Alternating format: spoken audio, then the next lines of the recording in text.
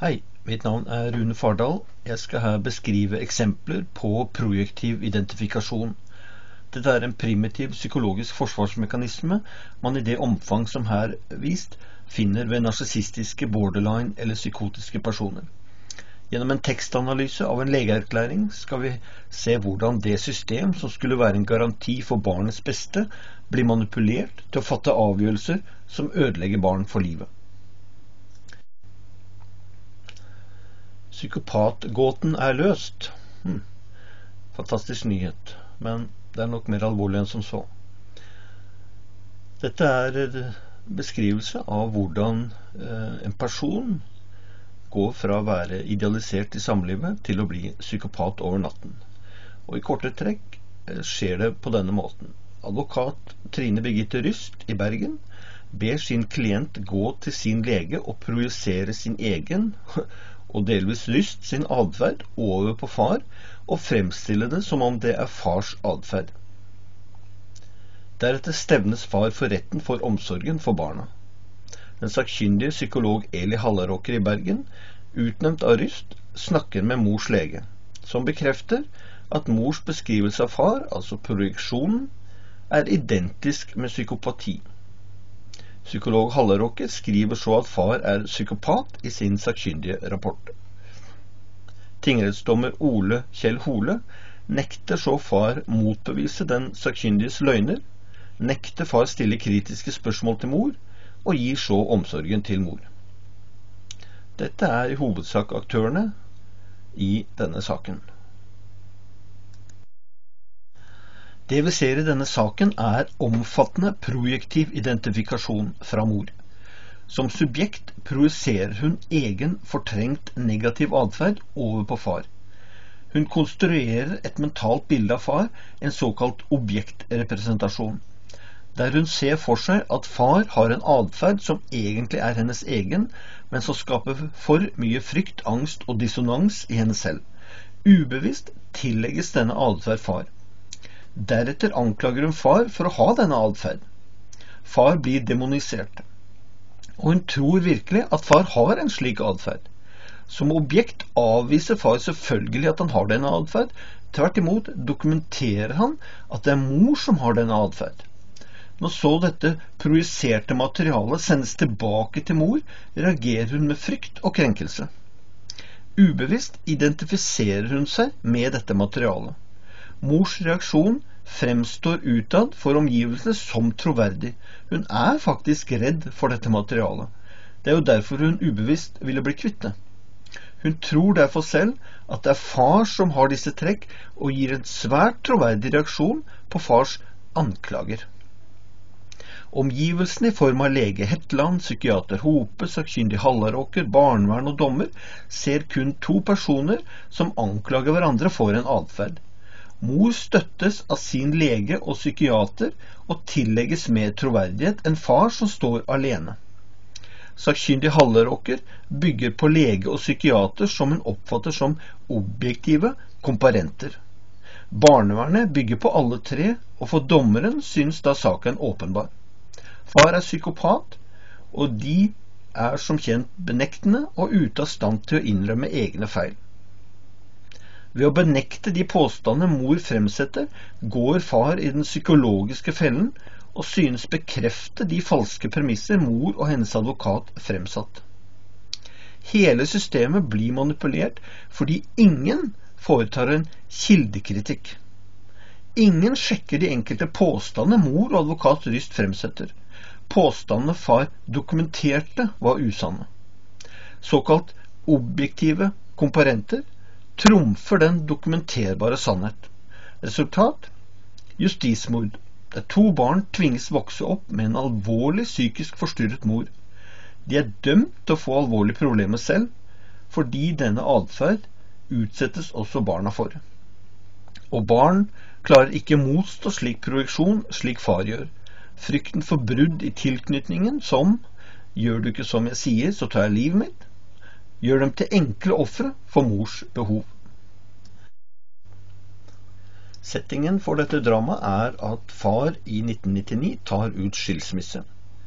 Fra å være idealisert av sin ekskone i samlivet, blir han over natten devaluert til psykopat.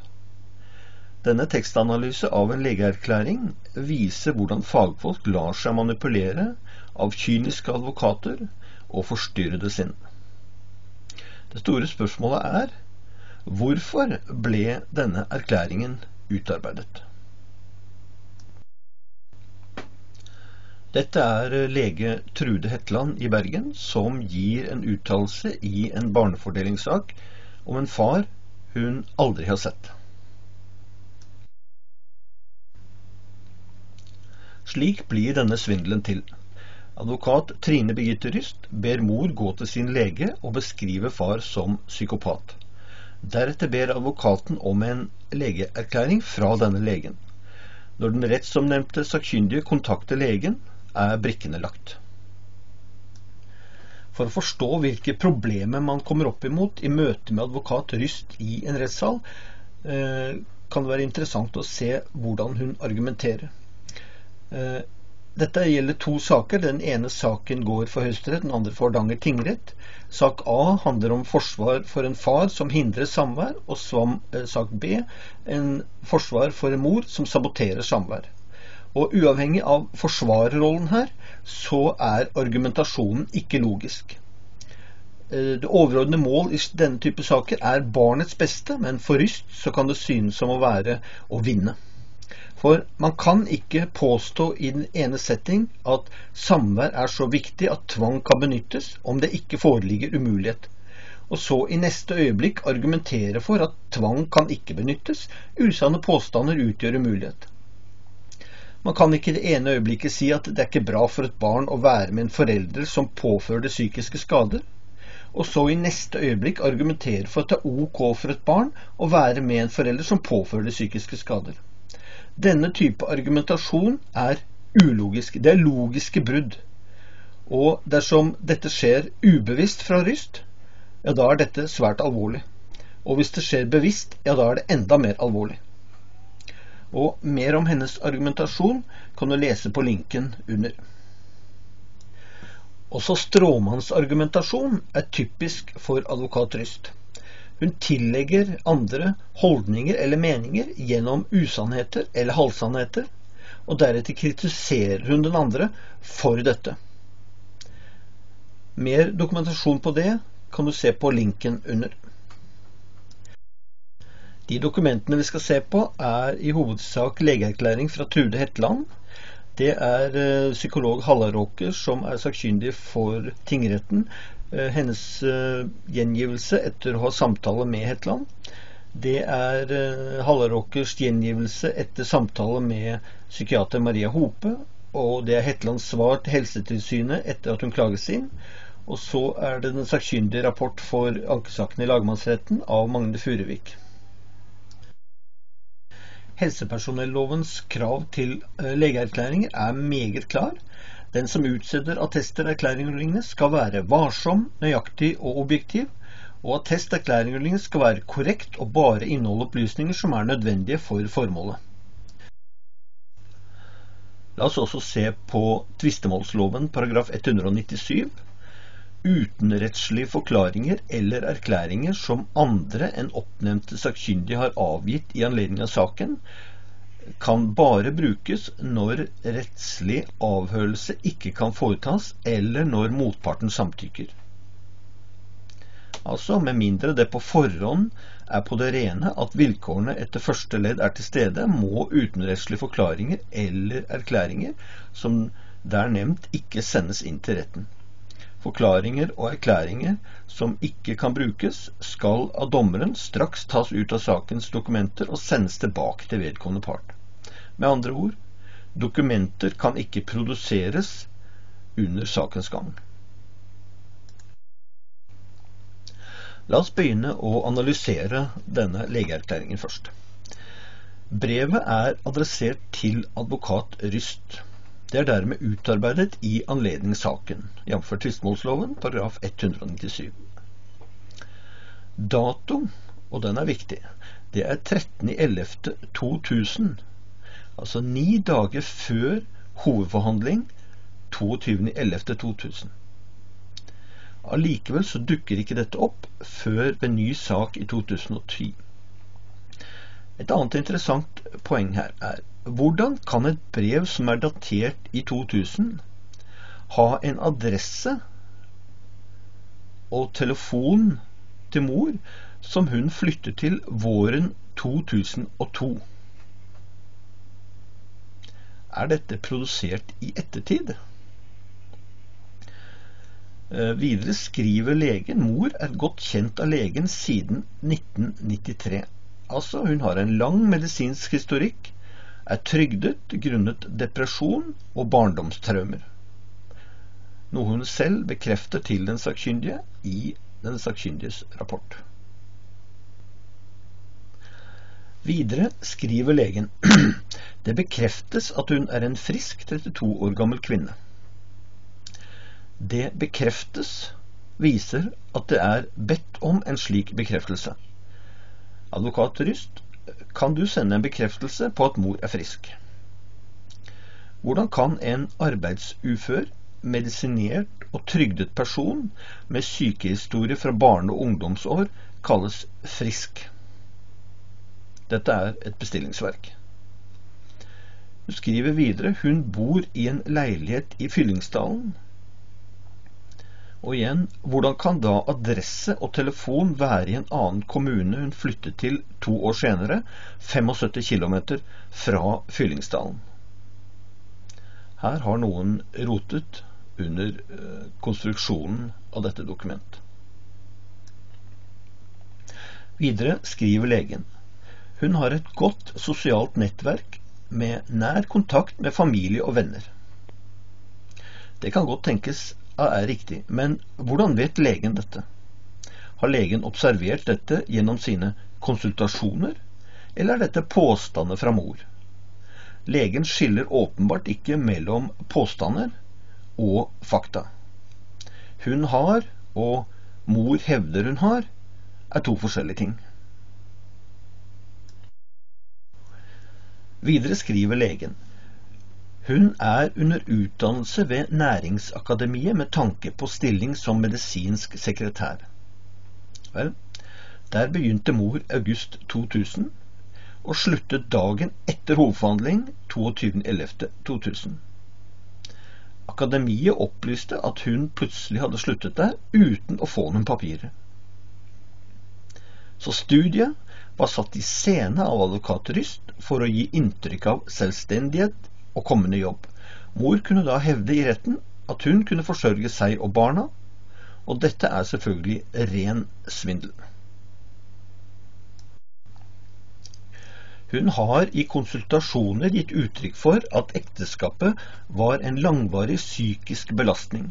Hun har følt seg ignorert, hun har aldri følt seg akseptert av mannen idet han skal ha ledd av hennes meninger. Legen skriver altså ikke 'mor hevder', hun skriver 'mor har'. Hvordan kan legen vite dette sikkert? Stemmer dette? Finnes det noe objektivt som bekrefter dette, eller er dette påstander fra mor? Det skilles altså ikke mellom fakta og påstander, og gjennom legens autoritet blir mors subjektive påstander til objektive fakta. Videre skriver Hetland hun har gitt uttrykk for at han direkte har fremsatt trusler overfor henne.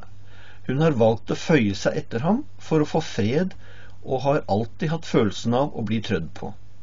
Hun har vært nedstemt, og det ble noen år tilbake startet medikamentell behandling for dette. Igjen, stemmer dette? Finnes det beskrivelser fra mor i samværet som bekrefter dette?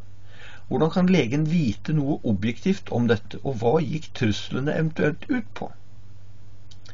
En så negativ beskrivelse av far må vel også være beskrevet av mor i samlivet, eller? Barnefaren skal i ekteskapet ofte ha vært fraværende. Hun skal ha hatt hovedtyngden av ansvaret for oppfølging og stell av barna. Igjen Stemmer dette? Fins det beskrivelser av dette fra samlivet? Hvordan kan legen vite noe objektivt om dette? Merk erklæringens anonyme oppsetning. Barnefaren. Verken mors eller fars navn er nevnt noe sted, unntatt i adresse. Og dette skal åpenbart brukes i en rettslig setting.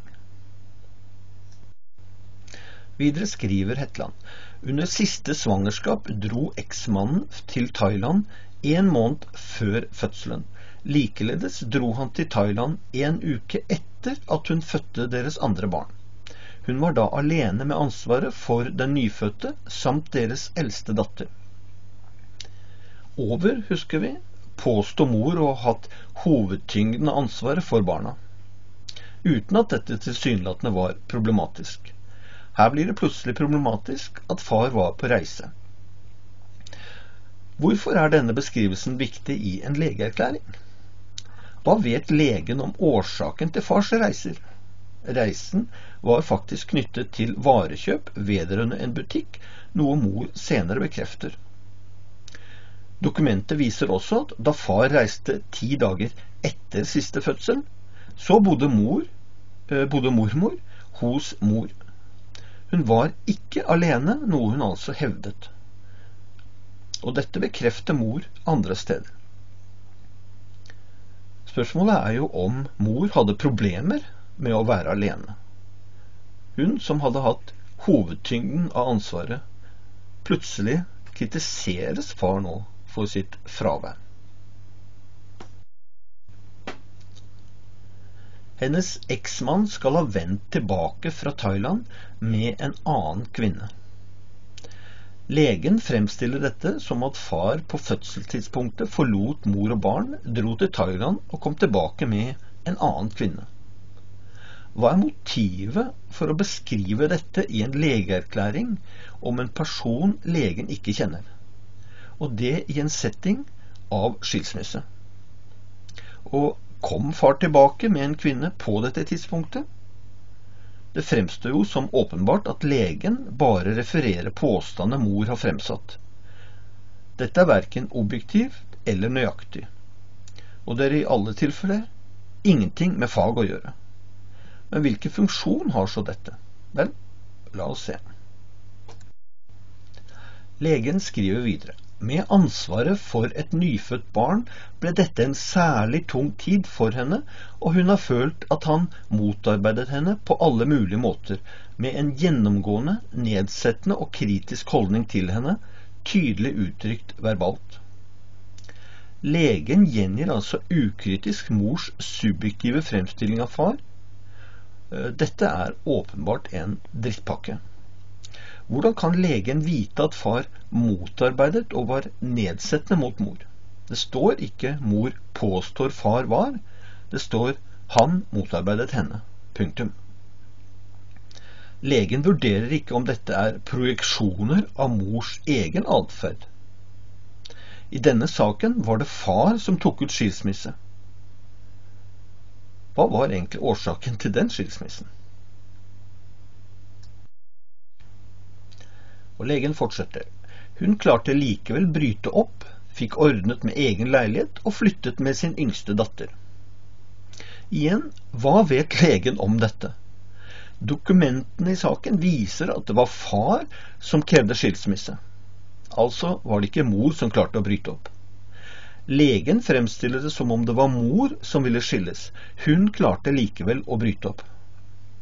Videre viser dokumenter at det var far som skaffet mor ny leilighet. Det var også far som betalte avdrag på mors lån. Videre fremgår det at mors egne brev at hun ikke ville skilles. Det legen gjør, er å snu virkeligheten fullstendig på hodet. Eksmannen skal ha krevd å få ha eldstedatter boende hos seg og hun ga etter fordi hun i denne fase både var redd ham på grunn av fremsatte trusler, samt at situasjonen var krevende med et spedbarn, flytting og ny jobb å forholde seg til. Hvordan kan legen vite noe objektivt om dette? Redd ham på grunn av fremsatte trusler? Hva besto eventuelle trusler i? Var det at far ville kreve omsorgen for begge barna, en trussel? Slik mor faktisk går til sak for?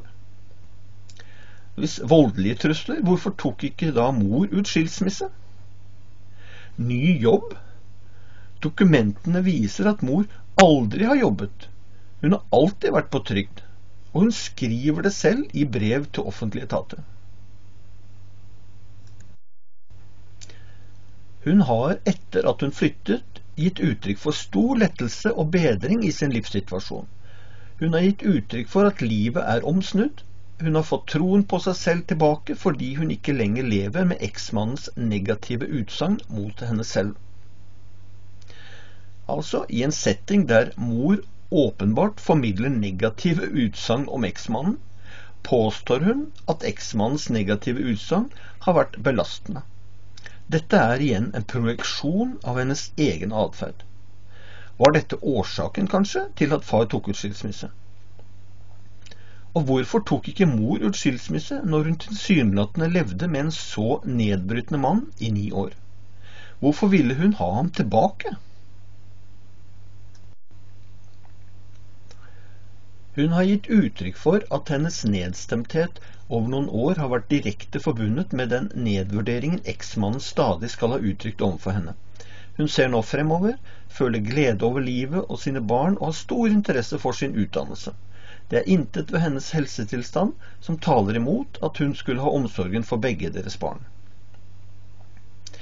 Vi vet altså at utdannelsen sluttet ti dager senere, når hovedforhandlingen var over, så den interessen var neppe så stor.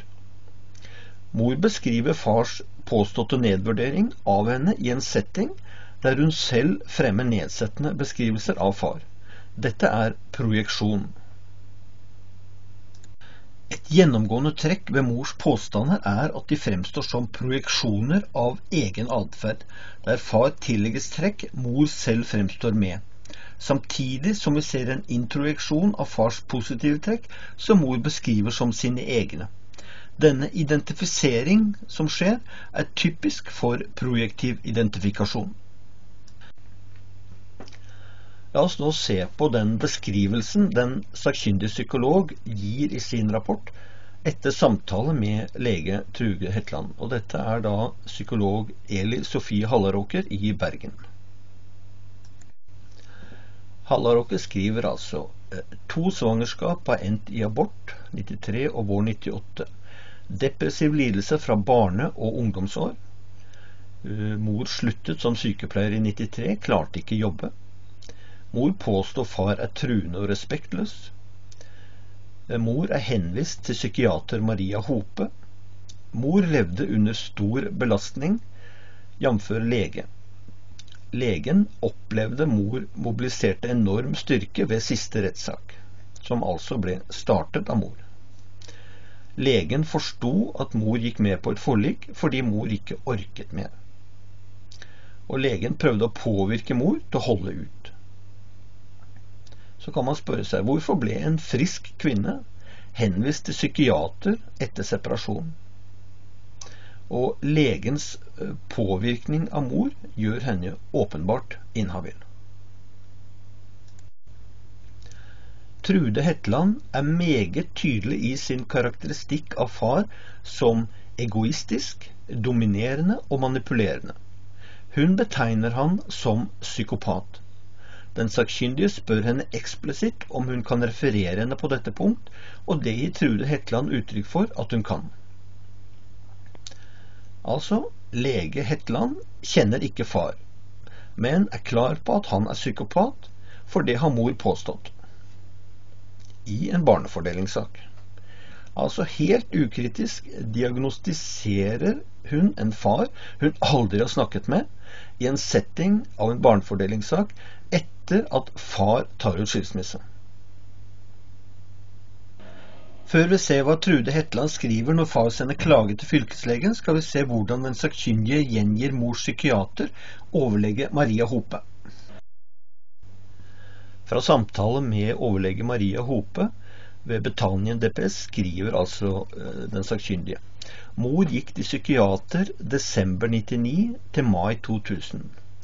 Og her må man huske at partene ble altså separert i juni 99. Så etter separasjonen, et halvt år etter separasjonen, så går mor til psykiater.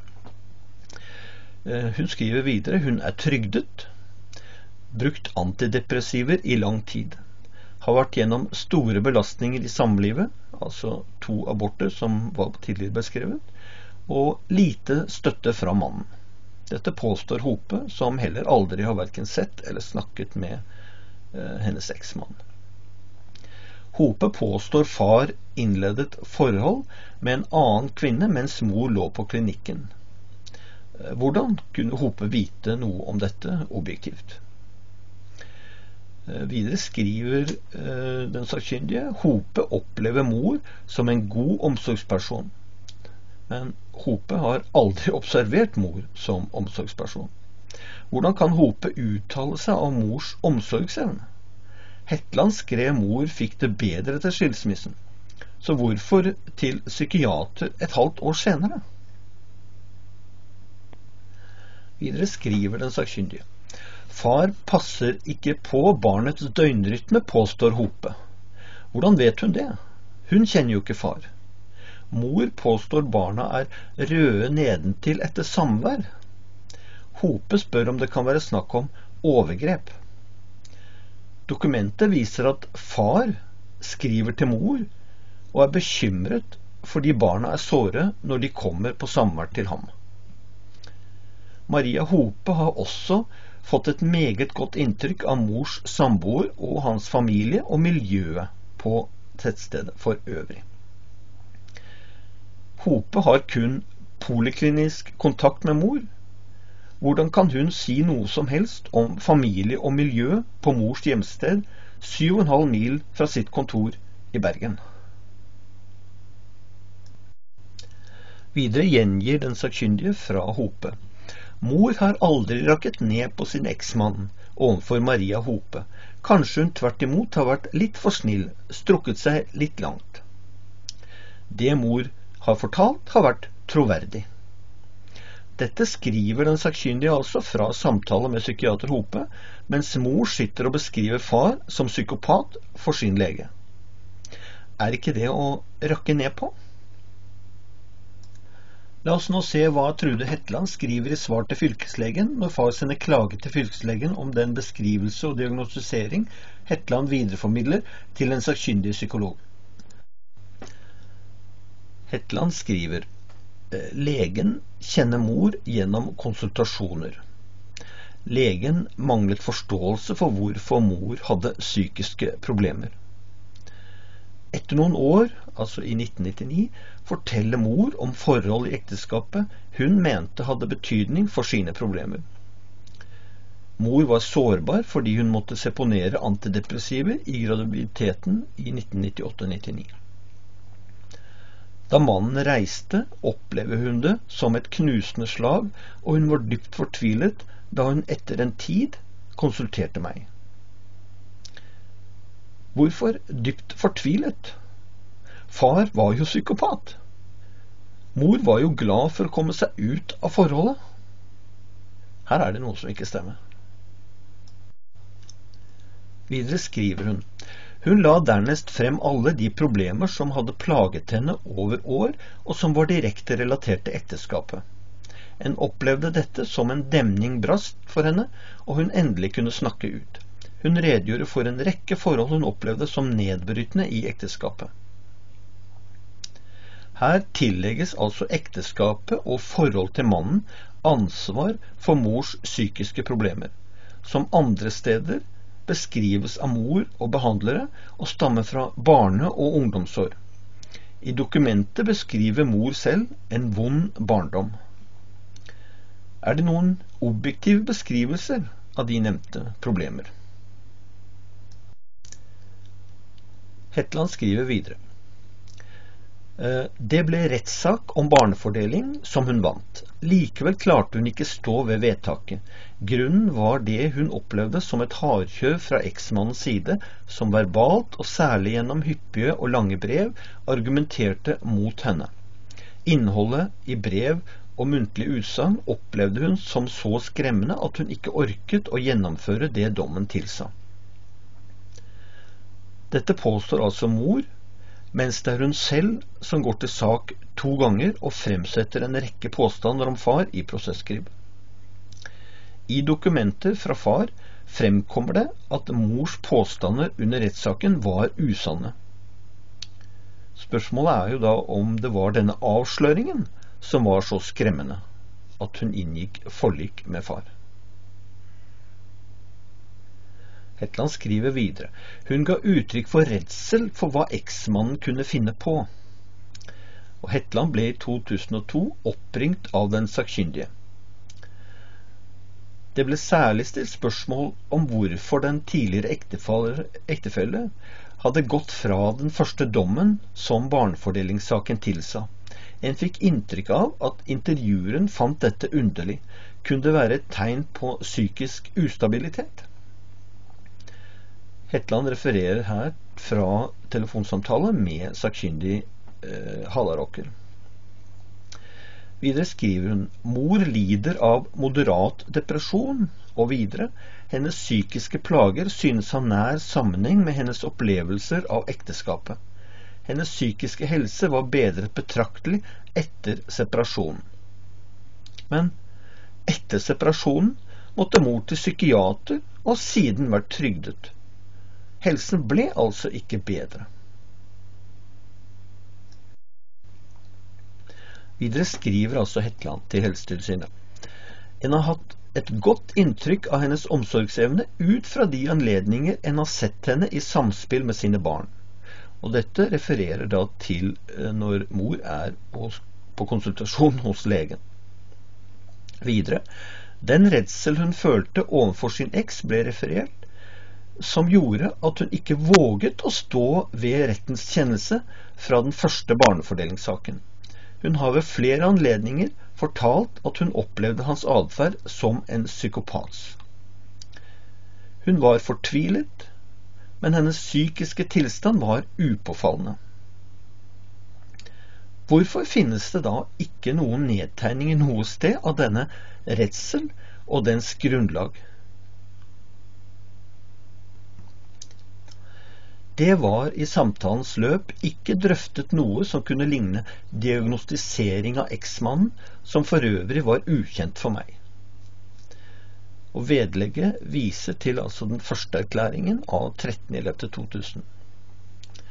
Den sakkyndige derimot var meget klar på at Hetland kalte far for en psykopat.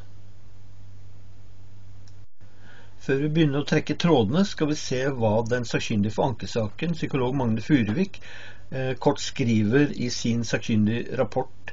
Eh, bildet er fra eh, hans observasjon av far og fars omsorgsevne.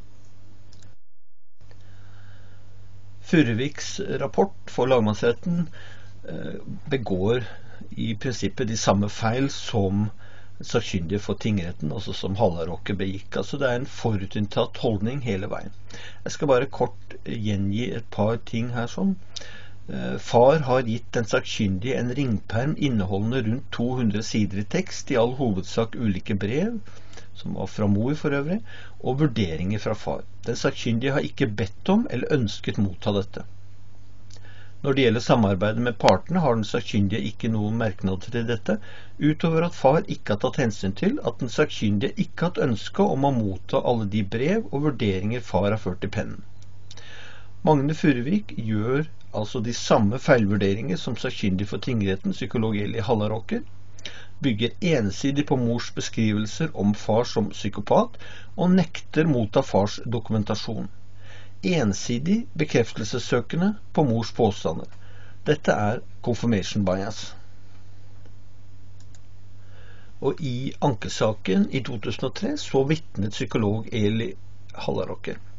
Hun uttalte da følgende Far burde ha samvær under tilsyn. Og dommen i lagmannsretten ble jo da som forventet. Samvær reduseres til én gang i måneden. Oppsummert så har vi da fem erklæringer. Eh, vi har erklæringen fra lege Trude Hetland. Den innarbeides i Hallaråkers sakkyndige rapport. Eh, vi har Hallaråkers gjengivelse av psykiater Hope. Vi har Hetlands svar til Helsetilsynet Og vi har eh, sakkyndig rapport fra Magne Furuvik i ankesaken for lagmannsretten. Oppsummert får vi da en del påstander fra lege Hetland til Ryst, som her vist. I den sakkyndiges rapport fremkommer så en del av de påstander som lege Hetland eh, fremsetter. På samme måte gjengis psykiater Hopes eh, påstander til den sakkyndige. Og til slutt får vi en oppstilling av de påstander Hetland kommer med i, i sitt svar til Helsetilsynet når far klager henne inn der. De samlede påstander fra mor kan da deles inn i tre hovedgrupper. Egen sykdomsforståelse, sosial fungering og påstander om eksmannen. Egen sykdomsforståelse består da av disse påstander, og de skal jeg komme tilbake til. Sosial fungering består da av disse påstander. Og til slutt har vi de påstander hun fremsetter om eksmannen. Jeg skal komme tilbake til disse hvert øyeblikk. Før vi begynner å se kritisk på de påstander mor fremsetter via sin lege og psykiater, skal vi se på et begrep som er svært viktig i vitenskapelig arbeid, nemlig falsifikasjon. Falsifikasjon vil si at det alltid finnes en rekke premisser som bekrefter en hypotese. De beviser den ikke, men de bekrefter den. Men det trengs bare én premiss som ikke stemmer med hypotesen, for å bevise at hypotesen som så er feil, eller må gjøres om. Gjennom falsifisering, altså å lete etter premisser som ikke stemmer med hypotesen, mor og hennes advokat fremsetter, skal vi se hvordan denne hypotesen plukkes ifra hverandre. La oss se på de tre påstandsgruppene med et kritisk blikk. Mor har en lang depressiv lidelse med opprinnelse fra barne- og ungdomsårene, sluttet i jobb i 93 og klarte ikke jobbe. Partene traff altså hverandre i 91. Allerede på det tidspunktet viser dokumenter at mor gikk til psykiater grunnet traumer fra egen barndom. Og det i relasjon til sine foreldre, bl.a. en far med alkoholproblemer. Dette er ikke vurdert av noen av disse sakkyndige. Hetland vurderer ikke dette noe sted. Hun vurderer heller ikke at mor bare sluttet i jobb, og at hun siden har vært på trygd grunnet psykiske problemer rundt angst og depresjon. Brev til ligningskontoret fra mor bekrefter at mor ikke har vært i jobb. Ei heller stiller Hetland spørsmål ved hvorfor mor ikke klarte å jobbe etter 1993. Hun skriver jo at mor er frisk, mens hun faktisk er trygdet og arbeidsutfør. Dette henger jo ikke sammen. Neste påstand. Hetlands mors mors lege fra 1993 forsto ikke hvorfor mor hadde psykiske problemer. Hun kjenner mor kun gjennom konsultasjoner. Hetland vurderer ikke altså noe sted andre årsaker enn eksmannens påståtte negative påvirkning på mor, selv om hun var kjent med problemene fra tidlig barndom. Hvis eksmannen var så ille, hvorfor tok ikke mor ut skilsmisse? Hetland gir heller ingen eksempler på hvilke konkrete problemer mor møtte i samlivet. Hun kjenner åpenbart ikke mors MMPI-score. Den viser alvorlig psykopatologi. Hetland uttaler seg om svært mye rundt mors situasjon. Hun umulig kan ha kunnskap om bare ut ifra konsultasjoner på et legekontor. Det fremstår som underlig at en lege ikke forstår hvorfor pasienten har problemer. Det er først når far tar ut separasjon at mor plutselig forteller, og da tillegger far alt ansvar. Da plutselig forsto også Hetland. Neste påstand. Konsulterte Hetland etter eksmannens reise våren 99. La der fram alle sine problemer, det var som en demning brast. Mor påsto psykiske plager hadde sammenheng med opplevelser i ekteskapet, hun var trygdet, arbeidsutfør, går på antidepressiver som Nosinan, Imovan, Sobril med flere. Hetland mener at mor er frisk, og det er intet ved mor som taler imot omsorgsevne. Psykisk tilstand upåvirket. At, at psykiske plager kun var knyttet til samlivet, fremstår underlig når man vet mor gikk til psykiater før hun traff far som følge av barndomstraumer. All kunnskap tilsier at det er skadelig å vokse opp med kronisk deprimerte. Allikevel er det intet som taler imot omsorgsevne. Eksmannens reise var ti dager etter siste fødsel. Reisen var eh, fra ca. 13. til 22. mars 1999. Konsultasjonen må derfor ha vært etter dette. Andre dokumenter antyder rundt august 1999. Separasjonen var i juni 1999. Mors samtale var dermed på et tidspunkt da partene var separert, samtidig som hun planlegger barnefordelingssak. At en person som er trygdet og går på antidepressiver, blir betegnet som frisk, fremstår noe underlig. At omsorgsevne beskrives spesielt, viser at dette er et bestillingsverk fra mors advokat. Hetland vurderer ikke noe sted at mors fortvilelse og demning som brast kan ha sammenheng med tapet av far ved skilsmissen. Mor ville jo ha far tilbake. Hun skriver hun var bitter for tapet. Det skal vi snart se. Videre fra rapporten. Hetland påstår psykisk helse bedret betraktelig etter separasjonen i juni 1999. Fikk tilbake troen på seg selv. Psykiater Hope kommer inn fra desember 1999 til juni 2000.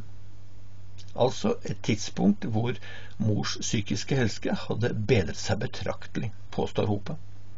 Hetland vurderer ikke noe sted hvorfor mor trengte gå, til, gå et halvt år til psykiater fra desember 99 til sommeren 2000, når helsen bedret seg betraktelig.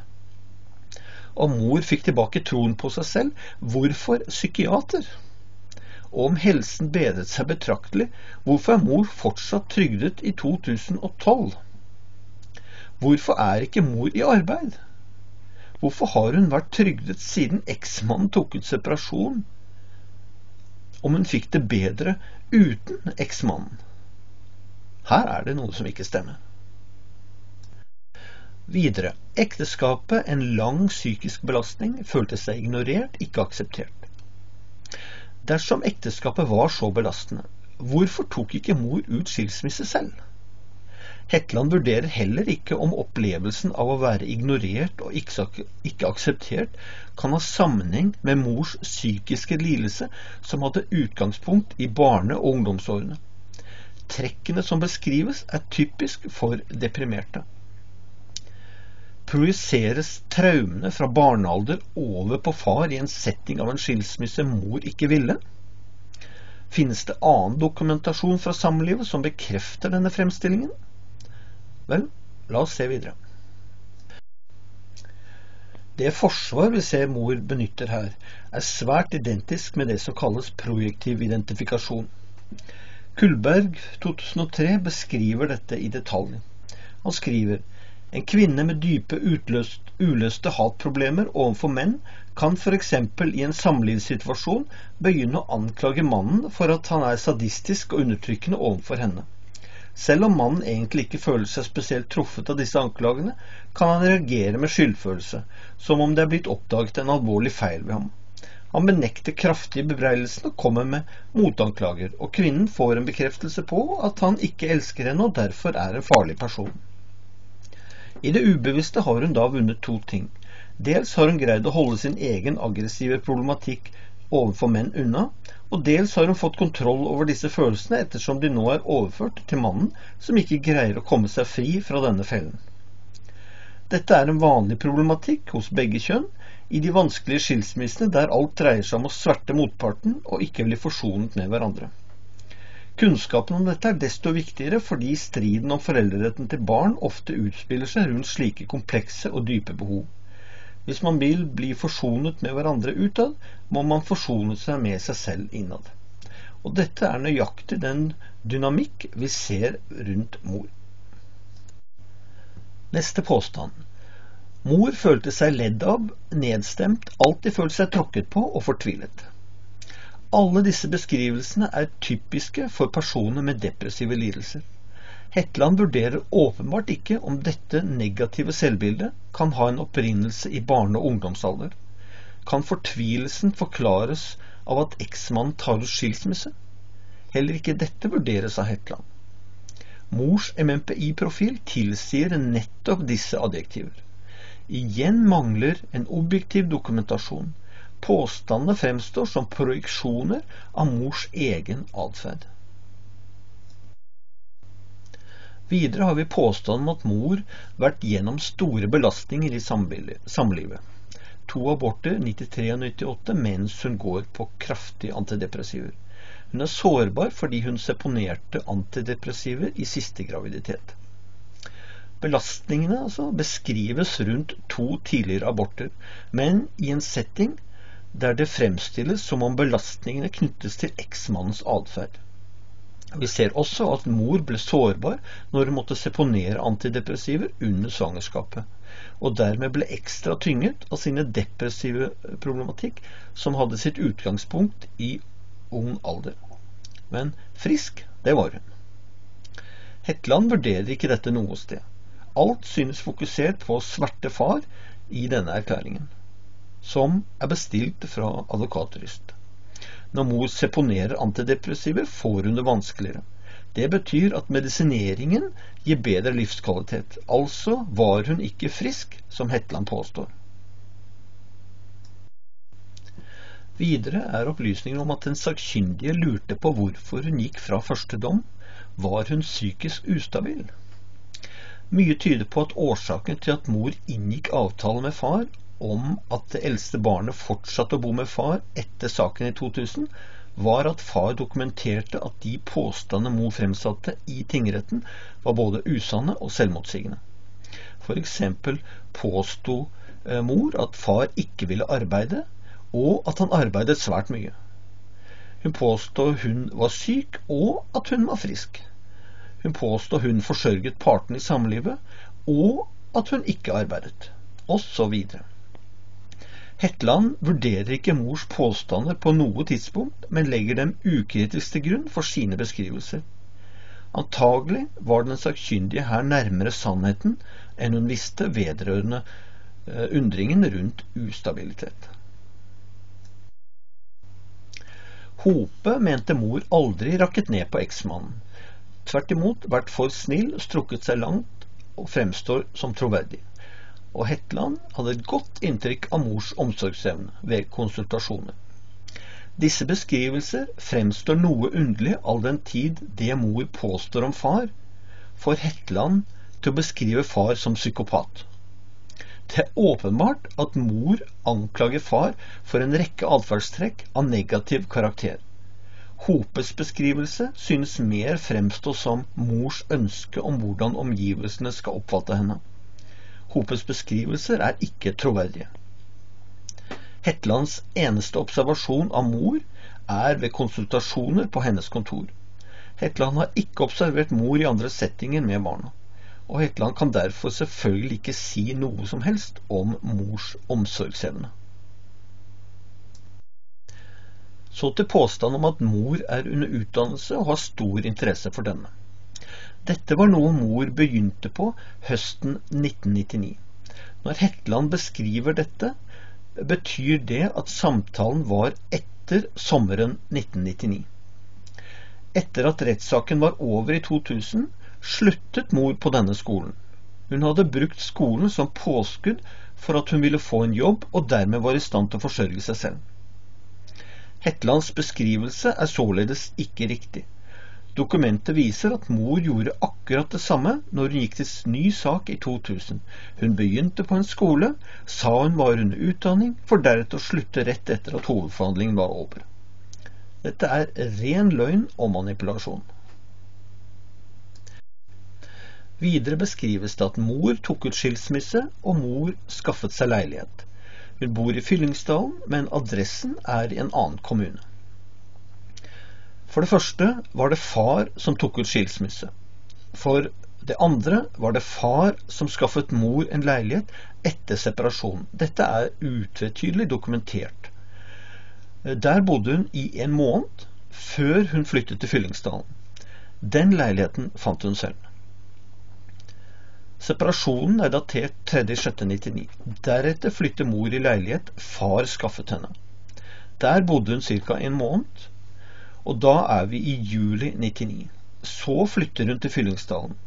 Da er vi i august 99. Foto fra mors leilighet viser hun bodde i Fyllingsdalen i oktober 99. Annen dokumentasjon fra folkeregister viser at hun bodde der til våren 2002. Da blir det underlig at Hetlands brev til advokat Ryst, datert 13.11.2000, med adresse i en kommune syv mil utenfor Bergen, dit mor flytter i 2002. Hetland gjør ingen vurdering av at mor snakker usant om hvem som tok ut skilsmissen. Det skjer ingen kildekritikk. Det er åpenbart at mor manipulerer Hetland, og hun lar seg velvillig bruke. Mors situasjon krevende med spedbarn, flytting og ny jobb, lite støtte fra eksmannen. Hetland snakker om flytting og ny jobb, men mor hadde ikke noen ny jobb. Hun er jo allerede beskrevet med å ta utdannelse på dette tidspunkt. Det viser at mors påstander til Hetland blir ukritisk videreformidlet. Men vi ser det samme mønster hele tiden. I 2000 påstår hun også, som vist her, at hun gikk på skole, men sluttet rett etter hovedforhandling. I 2000 ser vi det samme mønsteret. Begynner på skole og slutter. Også i 2007 skjer det samme. Da begynner hun jobbe to dager i uken ved et apotek etter at far reiser rettssak, men slutter like etter. Men i hovedforhandlingen påstår hun da at hun var i arbeid og kunne forsørge seg. Dette var en setting ved separasjon. Allikevel forventer mor støtte fra eksmannen. Mor sitter hos sin lege og demoniserer far, mens dokumentet viser far hjelper mor både praktisk og økonomisk på den tiden. Videre. Mor har godt sosialt nettverk. Mor ene hovedansvarlig for barna i samliv, og legen påstår mor mobiliserte stor styrke før siste rettssak i 2002. Her uttaler Hetland seg om noe hun ikke kan ha objektiv kunnskap om. Dette er kun en ukritisk gjengivelse av mors påstander. Hvordan vet legen at mor mobiliserte en stor styrke? Og hvorfor skulle en slik mobilisering være nødvendig? Det var mor som gikk til rettssak både i 2000 og 2002. Legens beskrivelse fremstår som et bestillingsverk fra advokat Ryst, til bruk i saken på mors side. Legen blander seg åpenbart inn i omsorgssaken og er inhabil. Hvordan vet legen om mor hadde ene- og hovedansvaret for barna i samlivet?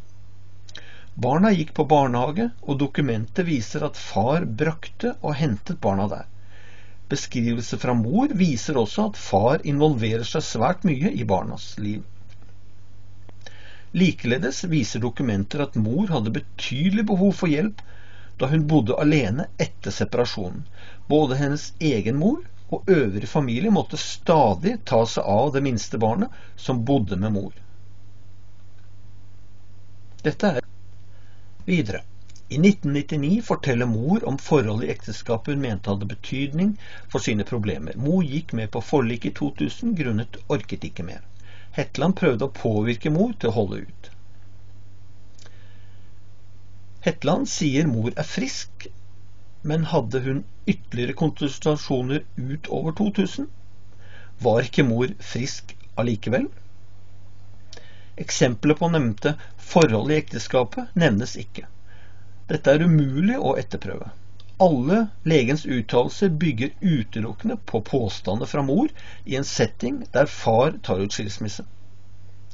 Dokumenter viser at forliket kom i stand da far dokumenterte for mor at hun hadde løyet i rettssaken.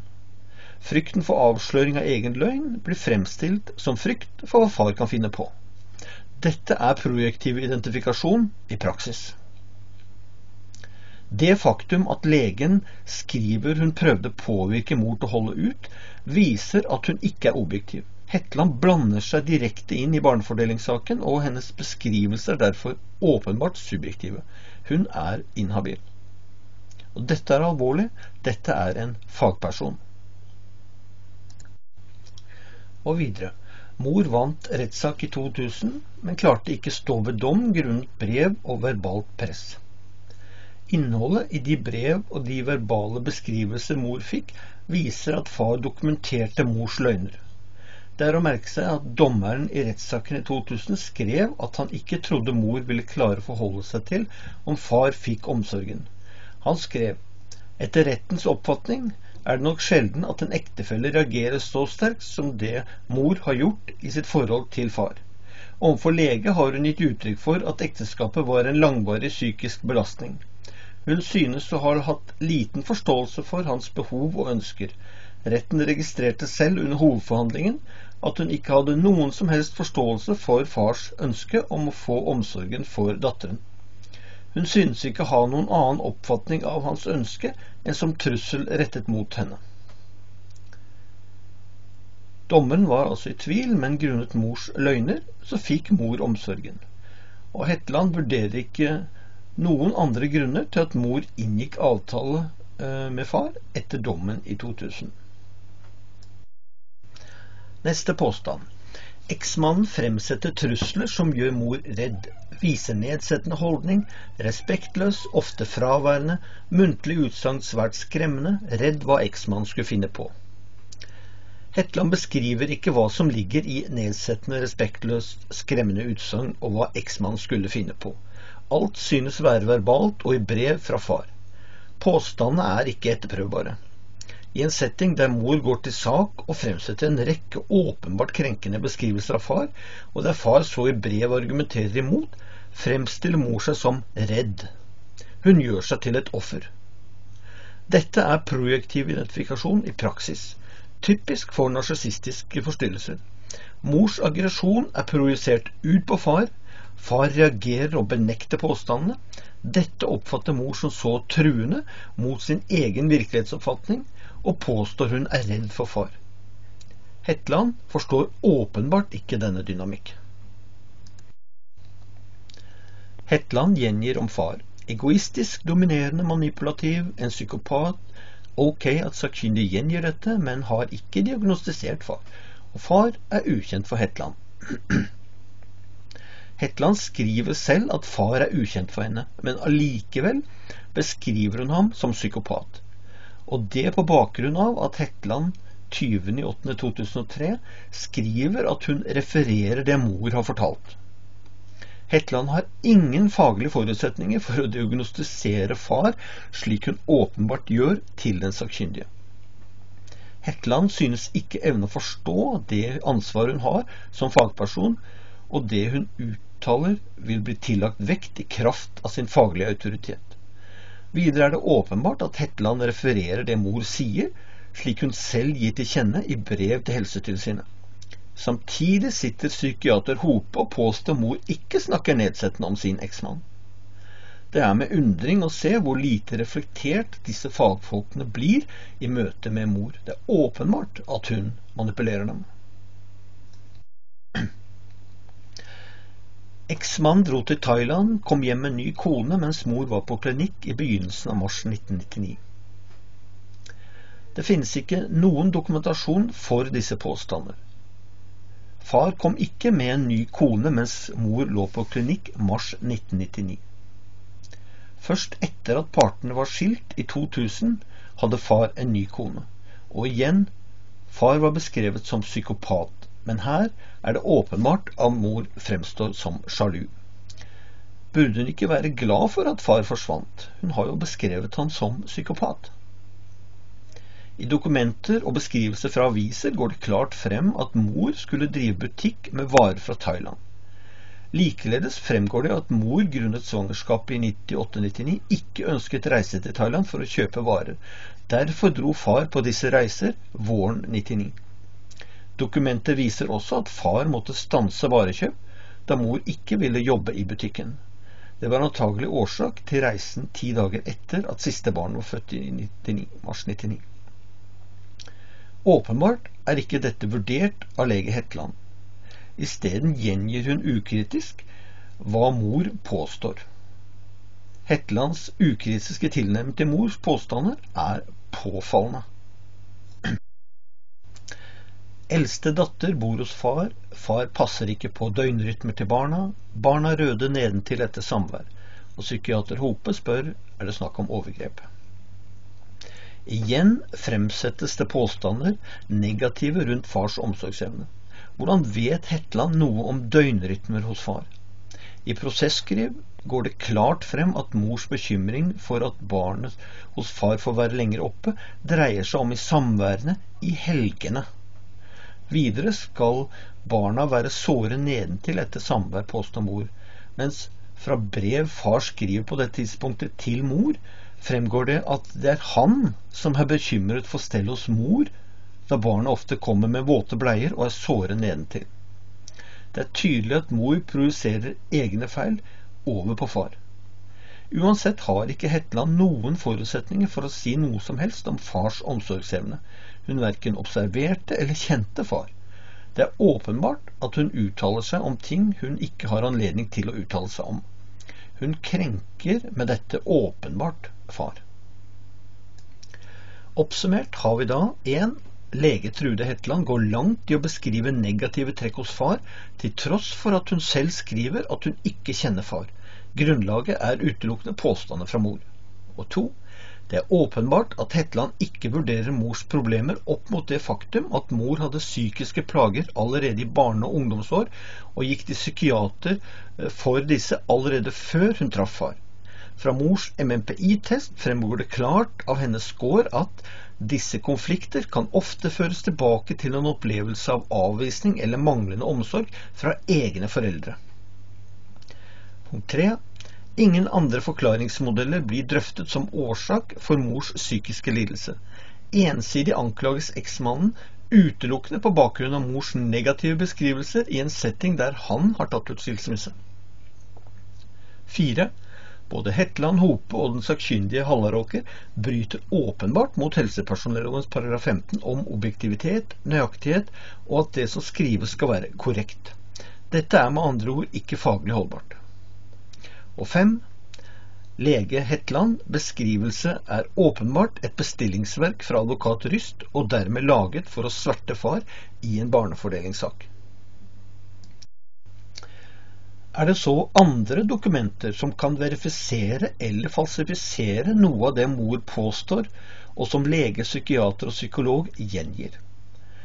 Vel, det finnes en rekke dokumenter som beskriver forholdet mellom ektefellene i samlivet. La oss se på hva mor selv beskrev i og etter samlivet om dette.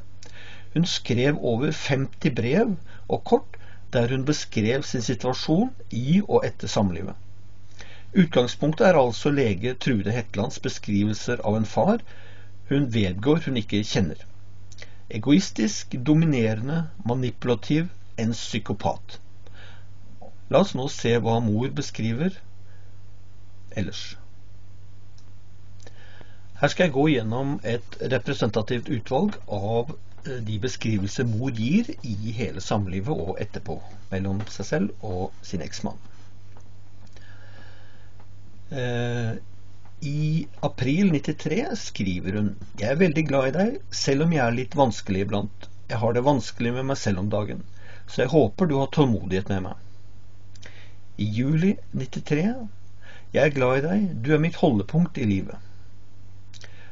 I februar 94 Jeg har ikke hatt det så bra på lenge. Jeg setter virkelig pris på deg. Juni 1995 Når du kan overraske meg, kan jeg overraske deg. Du er enestående på det feltet. Jeg elsker deg. I september 95 jeg er glad i deg, vil alltid være det, og har det godt inni meg. Har jeg sagt at du er snill mot meg? Kanskje ikke. Du er det. Mai 96. Jeg er veldig stolt av deg, du gjør en god entré. Jeg har sett deg i et annet lys disse dagene. Jeg blir bare mer og mer glad i deg. Tror du er den rette for meg. Disse dagene vil jeg alltid ha i mitt minne. Et slikt liv har jeg alltid drømt om.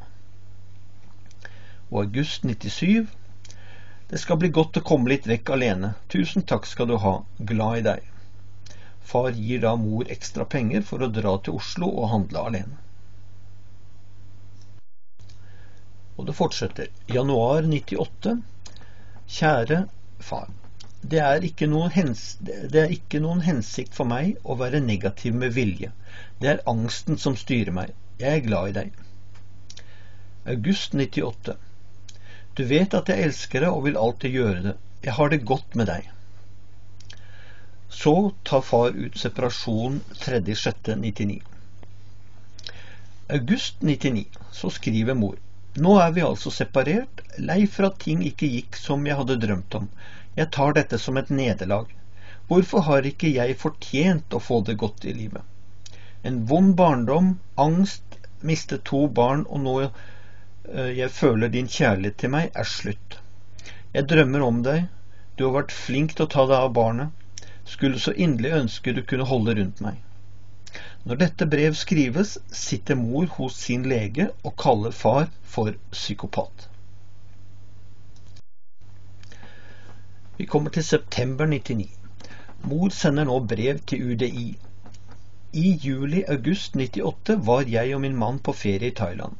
Han ble hektet på dette landet og folket. Han kjøpte inn varer, og vi startet butikk. Han dro ned en uke etter vår datter var født. Min mor måtte hjelpe meg. I juni måned fant jeg et brev rettet til dere.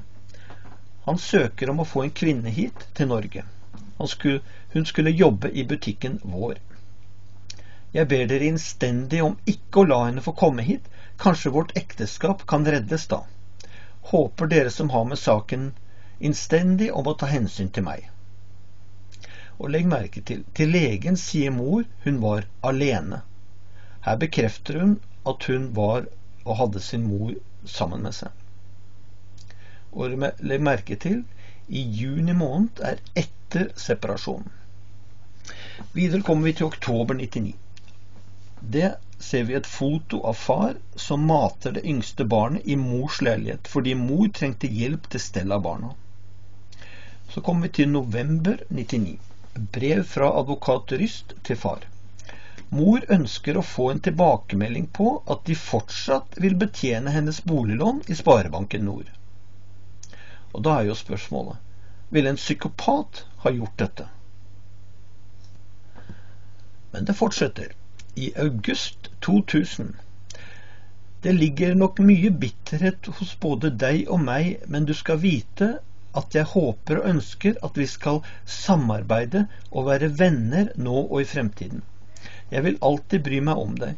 Det er jo derfor jeg er så bitter, fordi jeg har mistet deg. Håper du vil hjelpe meg økonomisk, selv om ting skulle endre seg, f.eks. hvis jeg gjør noe du ikke liker. Og stevningen til tingretten for omsorg for barna er datert samme dag. Jeg ønsker deg alt godt og minnes alt det gode vi har hatt. Klem fra din eks. Vi kommer til oktober 2000. Der er det en oppstilling til retten fra far som viser at han fra separasjonen til mor går til sak om barna, har gitt mor over 100 000. Er dette typisk for en psykopat? Vi kommer til november 2000.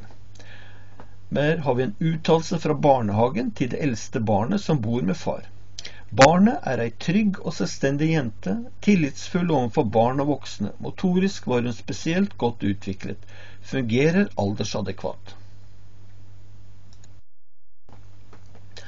La oss nå se på andre faglige beskrivelser. I juni 2002, på samme tidspunkt som den sakkyndige Hallaråker eh, vurderer far, så gjør professor Frode Tuen en sakkyndig observasjon av fars omsorgsevne. Han skriver ut fra mine vurderinger er det ingenting som tilsier at far har sviktende omsorgsferdigheter. Tvert imot opplevde jeg at det var en trygg og kjærlig tilknytning mellom far og hans to barn. Og sakkyndig eh, psykologspesialist Lars Broch i Bergen eh, skriver også i juni 2002 eh, det bildet som fremkommer av far og hans samspill med barna gjennom sakkyndig uttalelse og dom, er for ensidig negativ fargelagt. Å flytte barnet ut av et hjem og et nærmiljø der det er vel etablert og vel ivaretatt, er det grunn til å stille et stort spørsmålstegn ved. Dokumentene viser at begge disse psykologer hver for seg observerte far like mye som den rettsavnevnte sakkyndige Hallaråker. De kom til stikk motsatt konklusjon av den sakkyndige. Den eneste forskjellen var at de ikke var påvirket av mors usanne påstander. Om vi nå tar med disse dokumentene også, som de sakkyndige nektet å se, får vi følgende konklusjon. Etter at far tar ut skilsmisse, fremsetter mor, etter regi av Ryst, en rekke udokumenterte påstander om far til sin lege og psykiater. Det får disse til å beskrive far som psykopat til den rettsoppnevnte sakkyndige. Gjennom hele samlivet fremstår det klart at mor er glad i far, og at han behandler henne godt. I en rekke brev i samlivet og etter dokumenteres dette. Etter separasjonen ber mor UDI kaste fars nye venninne etter skilsmissen ut av Norge, slik at mor kan få far tilbake. Dette er den samme far mor til sine komparenter beskriver som psykopat. To andre sakkyndige som gjør samme observasjon av far i relasjon med sine barn, som den rettsoppnevnte sakkyndige i 2002, kommer til stikk motsatt konklusjon. Deres konklusjon underbygger mors beskrivelser av far i samlivet. Beskrivelser fra barnehage og skole til det barnet som bor med far, frem til sommeren 2002, er utelukkende positive. Mors advokat Ryst bekrefter at far betaler mors avdrag på hus etter separasjonen. Andre dokumenter viser at far hjelper mor økonomisk med over 100 000 etter separasjonen og frem til hun går til sak i 2000.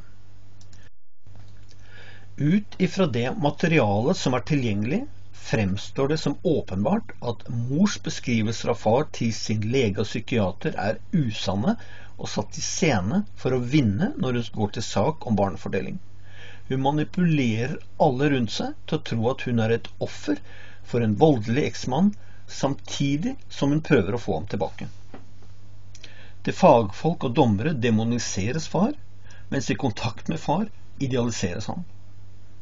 Verken lege Trude Hetland, psykiater Maria Hope, psykolog Eli Hallaråker eller psykolog Magne Furuvik evner avsløre dette.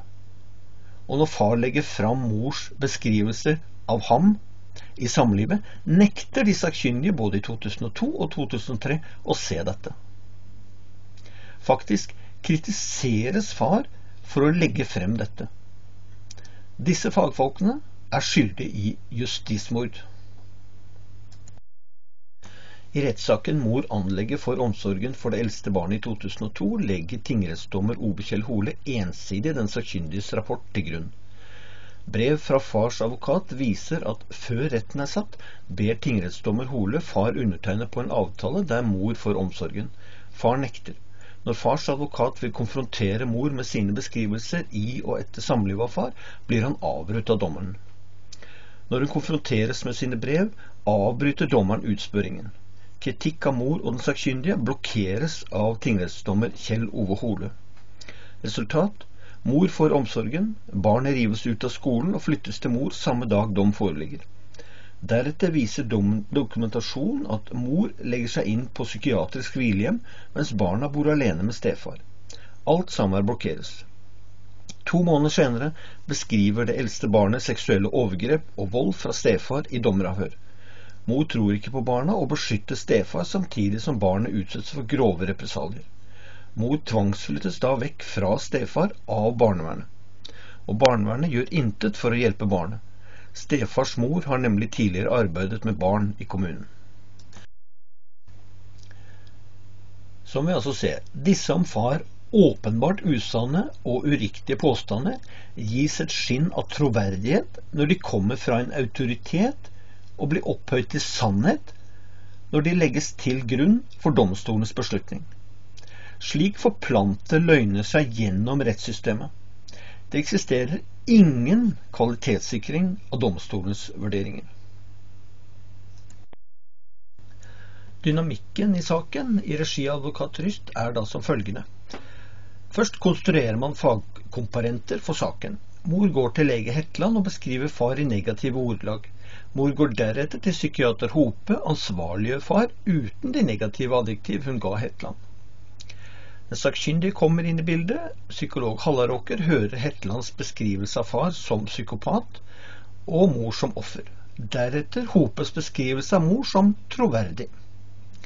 Dette havner så i domstolen, Der sitter dommer Hole, som er lei av slike saker, som han uttrykker det, legger den sakkyndiges vurdering til grunn, og alt som strider mot dette syn, hindres fremlagt. Justismord er et faktum. Men det slutter jo ikke der. For når far så reagerer på dette gjennom anke og motbevise disse falske påstander, så er systemet raskt ute og anklager far for å være benektende og ute av stand til å se egne feil og mangler. Han må jo forstå at så mange fagfolk ikke kan ta feil. Ingen kvalitetssikrer det faglige arbeidet, men alle mener det er riktig, slik man ofte ser det ved justismord, der systemet bekjemper de som vil avsløre det, med alle midler. Reaksjonen til tidligere barnevernssjef Li-Berit Kvernes Befring i Kvam er typisk. I tråd med projektiv identifikasjon blir fars reaksjon på mors aggresjon kritisert, mens den egentlig aggressive, mor, blir sett på som offer. I brev til barnevernet avslørte far mors løgner. Da skriver hun i et brev i 2003 til BUP, etter at barnet hos mor var henvist til BUP for selvmordstanker, følgende. Barnevernstjenesta registrerer at far ikke har interesse av å bilegge konflikten, men tvert om øke den. Det er bekymringsfullt. Barnevernstjenesta er av den oppfatning at far kommer med svært krenkende uttalelser både eh, vedrørende mor til barna og hennes nåværende samboer, og til dels gjelder dette også alle involverte i saken. Alle som ikke er enige i fars vurdering, er i konflikt med far. Tallet på de som ikke deler fars vurdering, er blitt mange, og de er alle skyldet for ikke å gjøre slik far vil. Det eneste som ville bilegge konflikten slik far ser det, er om han selv skulle få omsorgen for barna. Men historien viser jo at far fikk rett, for ti år senere er konflikten for det barnet far hadde ansvaret for, for lengst opphørt, mens konflikten for det barnet mor har ansvaret for, har eskalert ekstremt. Det kan være fristende å referere til Tollakberg Bersirnes bok om psykopati og sette de undertrykte fri. Han skriver mange blir imponert av psykopatens aktivitet og ærlighet, men ærligheten består ofte i at han ikke engang hykler.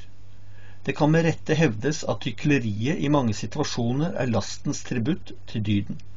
Den som hykler, viser i alle fall at han vet hvordan man bør oppføre seg.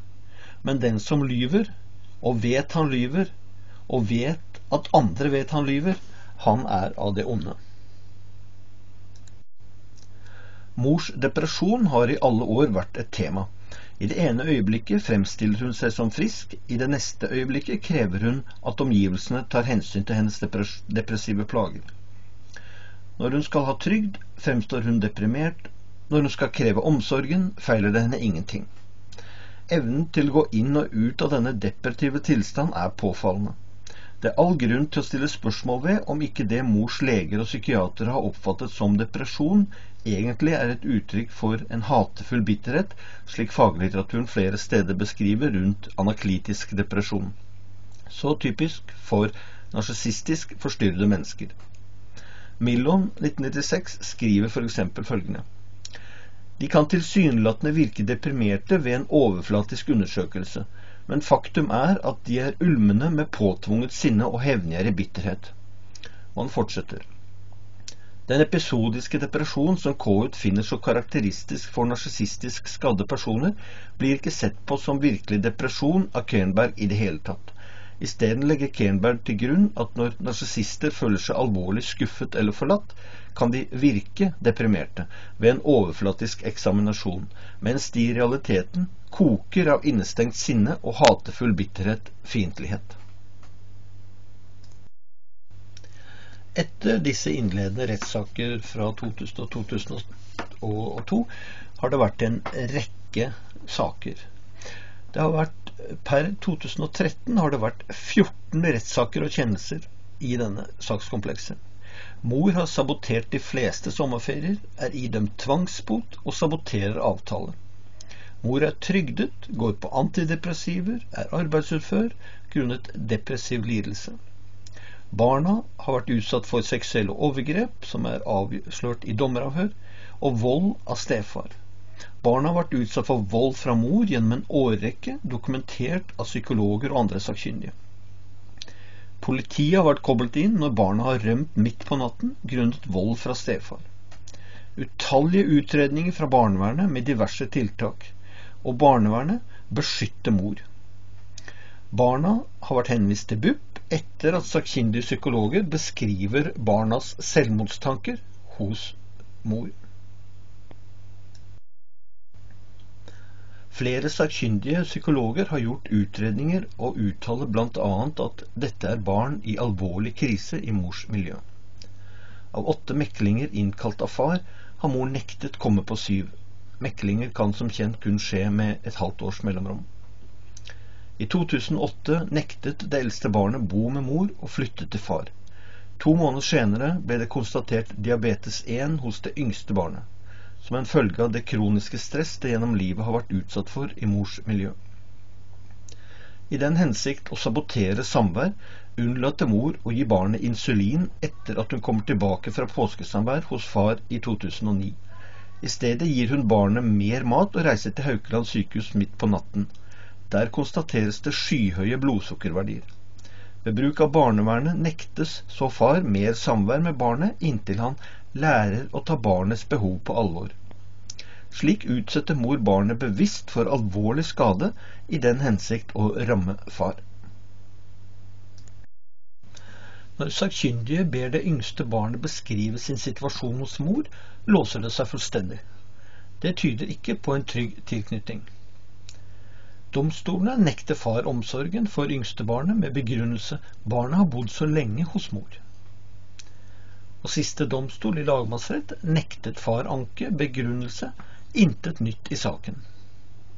Og siste utvikling er november 2012. Da stevner mor far for retten for å redusere barnets samvær fra annenhver helg til én gang per måned. Når far kjøper noe til barna, telefon, PC og lignende, blir det nektet av mor å beholde det. Eksempelet er når far kjøpte ny iPhone til barnet, fikk de beskjed om å levere tilbake til far. Samme dag går mor og kjøper samme telefon til barnet. Når far kjøper ny PC til barnet, måtte den være hos far, fordi mor var redd for at far hadde installert avlyttingsutstyr i den. Dette er ren paranoid atferd. Når de skal på samvær, blir de ransaket helt inn til trusen for at de ikke skal ta med noe til far. Før ferie trues de med at mor vil begå selvmord om de drar til far. Slik er hverdagen for barna hos mor. Denne atferden mener barnevernet i Kvam er helt ok. Tingretten støtter seg på barnevernets beskrivelser. Hvilken konsekvens fikk så dette for fagfolkene? Vel, alle ble klaget inn. Ingen klager førte frem. Alle ble beskyttet av systemet.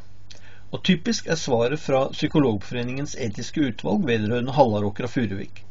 Til tross for at de innrømmer at de ikke har realitetsbehandlet klagen, kan de ikke finne at psykologene har gjort noen feil. Hvordan kan de påstå det uten å realitetsbehandle klagen?